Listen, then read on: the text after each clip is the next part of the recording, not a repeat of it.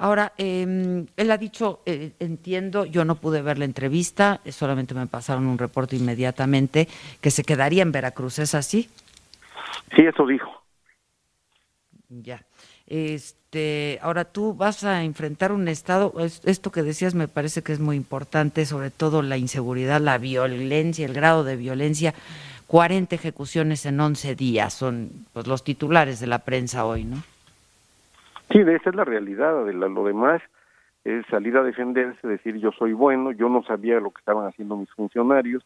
Y es inaudito, por ejemplo, decir que en el caso de las empresas fantasma, eh, los empresarios fantasma, que ellos mismos seleccionaron de entre gente muy humilde a la que engañaron, que eran empresarios pues que tenían su registro fiscal, que no había ningún problema y que entregaron lo que tenían que entregar. Es decir, por ahí, por esa vía de empresas fantasmas, se robaron más de dos o tres mil millones de pesos y hoy culpan a gente humilde. Vaya, realmente la entrevista, eh, ojalá y la vieras, creo que la debieron ver un grupo de psiquiatras, eh, un grupo de personas especialistas en la conducta humana, porque habla de alguien que efectivamente está asumiendo que él es inocente, que los veracruzanos le debemos un monumento, eh, le debemos su nombre en letras de oro en la Cámara de Diputados, y no, no es así él es responsable de la situación que vive Veracruz.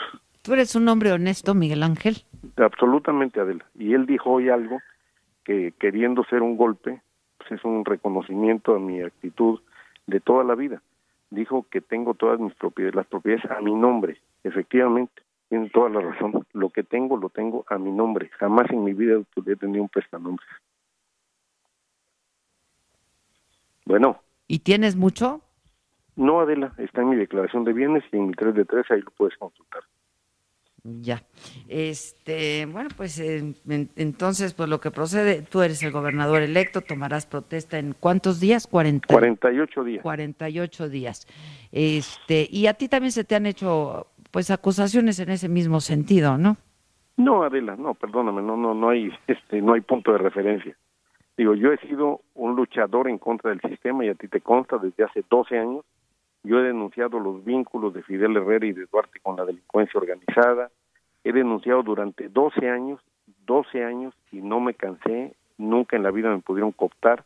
Durante 12 años la corrupción que vivía Veracruz, lo dije una y otra vez, están llevando a Veracruz al desastre.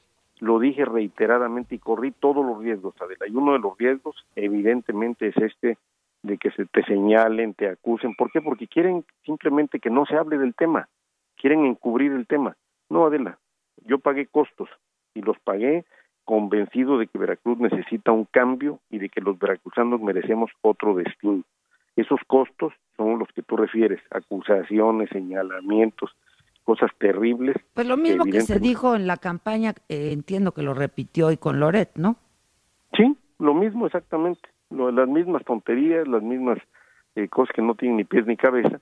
Y te repito, son los costos paga un opositor por ser opositor como yo lo fui tan frontal durante 12 años. Tú me entrevistaste muchas veces y muchas veces te dije, Veracruz está cayendo en manos de la delincuencia organizada porque de manera deliberada Fidel Herrera puso a Veracruz en manos de la delincuencia organizada a cambio de 12 millones de dólares que le entregaron y consta en un expediente en la corte o en la corte este de Austin, Texas.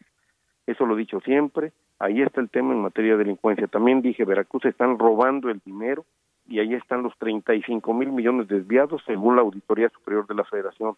También dije, se están robando el dinero estatal y ahí está el resultado de la cuenta pública 2015 de fondos estatales, 14 mil millones en un año. Ahí está, esas son las consecuencias, Adele, yo las pago con mucho gusto. ¿eh? Llegué a gobernador porque la gente quiere un cambio. Más de un millón de veracruzanos votaron por mí porque vieron en mí la posibilidad de un cambio pagué los costos, sí.